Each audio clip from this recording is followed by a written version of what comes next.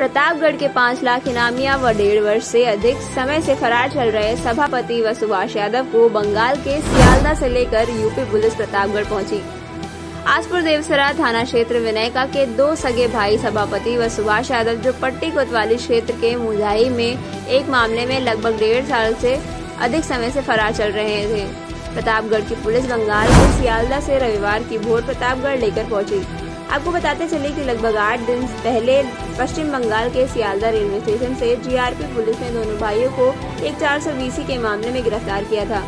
Pratapgarh police दोनों को प्रतापगढ़ लाने के बाद मेडिकल परीक्षण के उपरांत सीजीएम कोर्ट में पेश किया गया, जहाँ दोनों को सीजीएम कोर्ट ने चौदह दिन की न्यायिक हिरासत में भेज दिया। सभापति यादव पर तीन दर्जन से अधिक तो सुभाष यादव पर ढाई दर्जन से अधिक संगीन धाराओं में मुकदमे दर्ज हैं। प्रतापगढ़ पुलिस के साथ यूपी एसटीएफ की टीम गिरफ्तारी के लगी है। मगर डेढ़ वर्ष से अधिक समय बीत जाने के बाद भी दोनों अपराधी हाथ नहीं लगे। आखिरकार बंगाल के सियालदा जीआरपी पुलिस ने दोनों पाँच लाख के इनामियों को गिरफ़्तार कर लिया। आ, सर आ, बंगाल में पाँच लाख की इनामिया दो सगे भाई की गिरफ्तारी हुई थी और प्रतापगढ़ पुलिस उनको लेने के लिए रवाना हुई थी।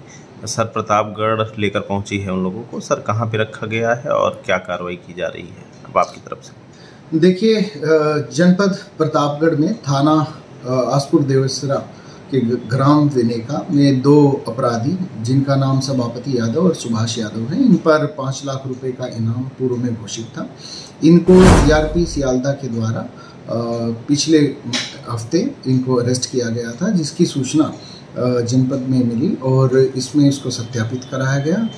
वेस्ट बंगाल के अधिकारियों के साथ कोऑर्डिनेट किया गया और वहाँ से ट्रांजिट रिमांड बनवाकर पुलिस के द्वारा जनपद प्रतापगढ़ लाया गया है और यहाँ से मान्य न्यायालय में इनके पेश किया जाएगा।